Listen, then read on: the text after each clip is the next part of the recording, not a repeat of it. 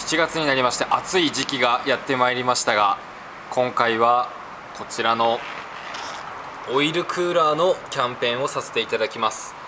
今日はデモカーを2台こうやって工場に入れておりますけれどもこちらの NA 仕様のデモカー1号ですね3人のデモカー1号にも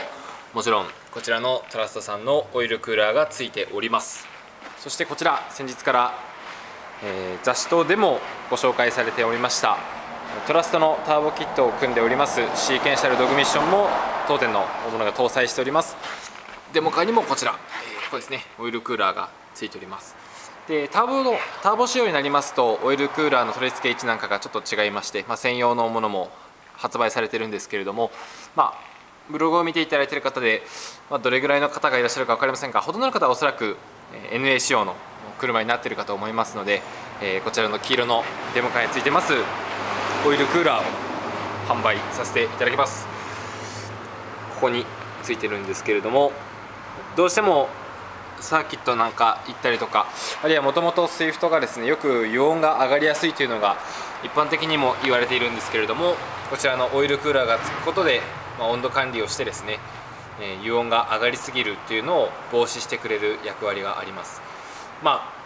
タイムにタイムが上がるっていうことに対して直結するかというとですねまあ、そう効果を目に見るのは難しいんですけれどもやはり安心安全を買うっていうところも必要になってまいりますしまたこうやってオイルクーラーがついていることで、まあ、サーキットでアタックしている時にもですね安心して走ることができるっていう非常に大きなメリットのある商品になっております。まあ、数字はどうしても工賃もかかりますし、まあ、商品もですねもともとやっぱり高い商品になりますのでなかなかこうつけるのにはっていう方もいらっしゃるんですけれども今回はこちらのトラストのオイルクオイルクーラーキットをキャンペーンで販売させていただきますのでまずはどしどしお問い合わせいただいてですね商品のことについて、えご不明な点がありましたらお聞きいただいてぜひご購入をお願いしたいと思います、